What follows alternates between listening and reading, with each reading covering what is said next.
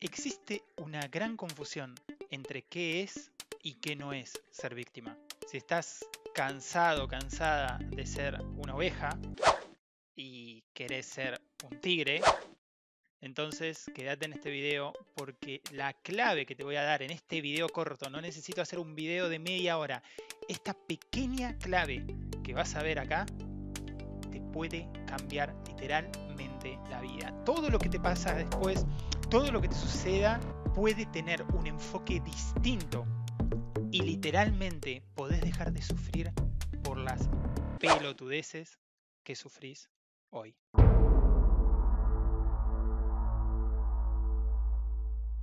Algunas personas saben lo que es ser víctima, pero les cuesta un poquito salir del paradigma y dejar de serlo. Confundimos libertad con hacer lo que se nos plazca cuando queramos.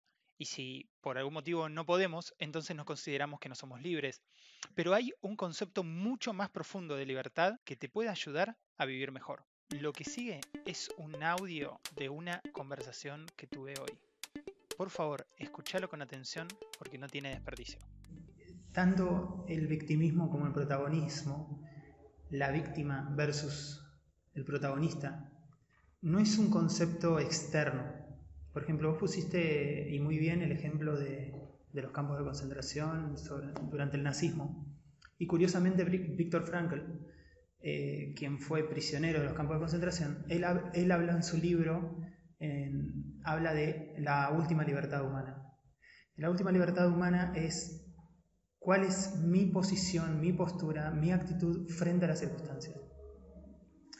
Él dice que a un hombre, como especie, una mujer, una persona, le pueden quitar absolutamente todo, pero no le pueden sacar la última libertad humana, que es cuál es mi postura frente a la situación.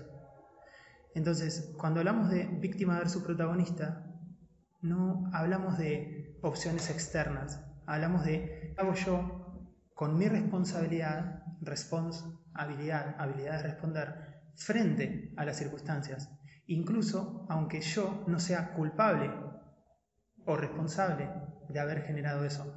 Yo no soy responsable de haber generado eso, pero sí soy responsable frente a ello.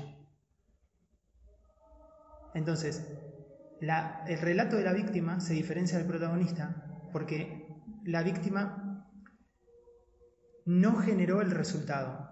La víctima es, para poner un ejemplo muy claro, un niño que viene y te dice, mira, la maestra me puso un 2. Entonces, ¿yo tengo algo que ver en ese 2? Por supuesto que no, me lo puso la maestra. Ahora, si yo me saco un 10, ahí sí yo me lo saqué, no me lo puso la maestra. Entonces, ese es el ejemplo más claro. El problema es que en niños está perfecto, porque son niños. El problema es cuando ese relato se proyecta, se lleva a una vida adulta, donde yo acá no tengo nada que ver, no puedo hacer nada, esto no es responsabilidad mía. Y el precio de mi victimismo es mi impotencia, porque si yo no soy parte del problema, si yo no acepto que tengo algo que ver con esto, entonces tampoco puedo solucionarlo. Como verás, hay un concepto mucho más profundo de libertad, el cual implica cuál es mi postura frente a las circunstancias, cómo voy yo a responder independientemente de que haya o no generado esa situación, independientemente de que me guste o no me guste, cuál es mi respuesta. Eso es responsabilidad. Entonces, estás acá porque buscaste victimismo y cómo superarlo. Querés dejar de ser víctima, querés empezar a actuar como un protagonista. ¿Cómo lo hago?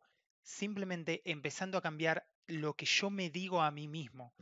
Si yo voy por la vida pensando que las cosas me pasan y que las cosas me las hacen a mí, entonces estoy atrapado en el victimismo. Si yo voy por la vida considerando que las cosas suceden, que las cosas suceden que las personas no es que me hacen las cosas a mí, sino que las hacen porque ellos son como son, y puedo pensar cuál es mi respuesta ante esas circunstancias, aunque yo no las haya creado, aunque no me gusten. Entonces ahora yo estoy siendo un protagonista, ahora yo estoy siendo un tigre y dejé de ser una oveja. Espero que te haya gustado este video. No te olvides... no te olvides que podés suscribirte. No te olvides que podés dejarme cualquier pregunta que te la respondo en video. Como dice el hashtag, te respondo en video. Mi nombre es Marcos Montivero, el creador de Autoestima Ninja y Hábitos Indestructibles podés ingresar en Facebook en los grupos Autoestima Ninja y Hábitos Indestructibles. Y nada más, compartilo, dale un me gusta, dejame un comentario, no seas hortiva, haz lo que me motiva mucho a seguir con esto, seguir, seguir ayudándote a vos y seguir ayudándome a mí, porque así también yo vivo mejor. Me fui, chau. Para enterarte cuando subo nuevos videos, hace clic en suscribirse y luego clic en la campanita.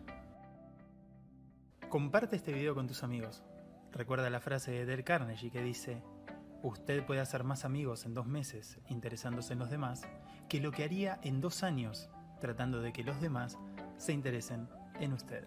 No olvides suscribirte y nos vemos en el próximo video.